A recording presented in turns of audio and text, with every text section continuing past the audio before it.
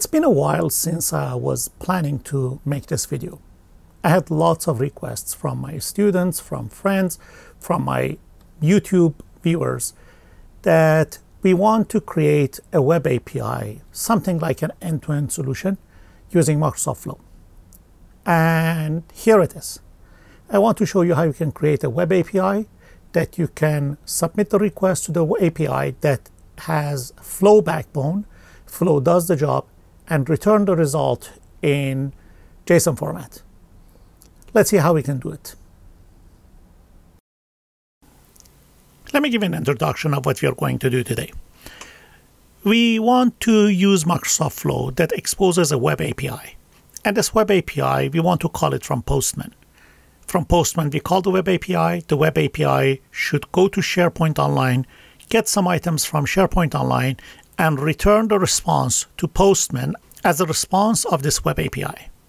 And to make it more interesting, this web API should accept the product category and returns all the products in that category. So we go back to our SharePoint and inside SharePoint we have a list called products and this is the source of information that should compile the response that is received by Postman. Now let's start by creating the basic flow that will do the job. As always, I go to flow.microsoft.com, I click on create, and I want to create an instant flow.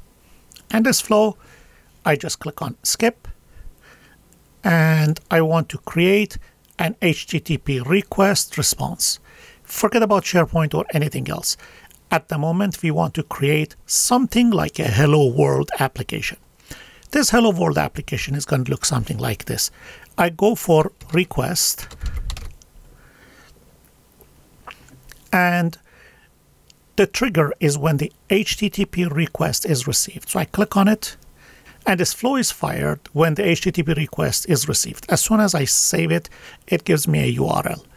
So if I click on show advanced options, I need to set the method to something relevant. By default, it's get, so I can go for get. If you want to submit something to the flow uh, as a package of data, probably we go for something more complicated like post. And at the moment, we are good with get. We just add one parameter that's going to be the category or something like that. And after that, we continue with that. So, so far, Flow receives the request. Then I need to add another step. That's going to be my response response. And when I click on response, you will find this control. This response returns whatever the answer that the call to this flow should return. So for the body of this one, I just say hello world. Every web API should return a status code. By default, status code 200 means success. Let me just give it a name and I call it Flow Web API Demo. I click on Save and as soon as I save it, it gives me the URL. So I have the URL of this flow. I click on it, copy it.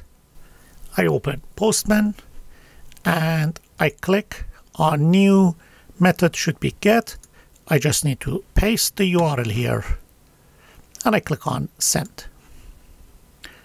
The call goes successfully, returns the status code 200, which is okay, and here is the response that I get from the web API. Now let's take it to the next level. To take it to the next level, we need to pass a parameter to this call. So the way that I want to pass the parameter, I want to go to Postman, and among all the parameters that they are there in the header, I want to go to the end and add one more. And this one more is going to be end category electronics. And that's it. And if I tab away, you see that the category comes to the list of headers. Great. But the question is that how can we capture this category in the flow? Let's go back and see how it works. To get a little bit of understanding, I add an action here called compose. Compose basically takes an input and can construct an object. Here we use it as a debugging tool. So for the trigger that comes here, if I click on expressions, I can have trigger output and trigger outputs basically shows me everything that this request returns. Let me just save it and run this again. So I go back to my Postman, I click on send, I get the result, I go back inside flow, and if I click on this flow now, the last call should show me what this query returns. Now, if you look inside this trigger, headers, we don't care. But one parameter here is very interesting. It's called queries. Queries has a category called electronics. So basically, we need to go to the output from this trigger, go to the element called queries, and under queries, we look for category. So the syntax will look like trigger output dot queries dot category. Let's see if we can capture it inside our flow.